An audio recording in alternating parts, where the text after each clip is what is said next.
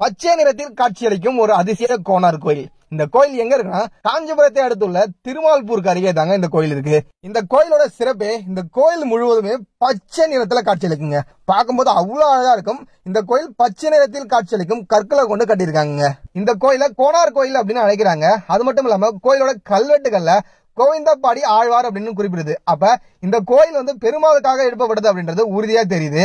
அதற்கேற்றா போல கோயில் முழுவதும் பாத்தீங்கன்னா வந்து கிருஷ்ணருடைய லீலைகளை செதுக்கி வச்சிருக்காங்க. சின்னஞ்சிறிய சிற்பமா. சரி இந்த கோயில் யாரால கட்டப்பட்டிருக்கும்? இந்த கோயில் இந்த மன்னரால் தான் கட்டப்பட்டது அப்படின்னு விளக்கறதுக்கு எந்த சான்றுகளும் இல்லைங்க. ஆனா கோவில் முழுவதுமே நிறைய கல்வெட்டுகள் இருக்கு. கல்வெட்டுகள் எல்லாமே சோழ காலத்தை சேர்ந்த கல்வெட்டுகளா இருக்கு. ஆனா சில வரலாற்று ஆய்வாளர்கள் கோயில இருக்க இரண்டு சிற்பங்களை பார்த்துட்டு இந்த கோவில் சோழர் காலத்திற்கு முந்தைய பலர் காலத்தை சேர்ந்ததாக இருக்கலாம் அப்படின்னு சொல்லி கருதுறாங்க. இந்த கோயிலோட அடுத்த சிறப்பு இந்த கோவிலோட அமைப்பு தாங்க. கருவறை முகமண்டபம் அப்படின்ற அமைப்புல இருக்கு. கருவறைக்கு மேல விமானம் இல்லங்க.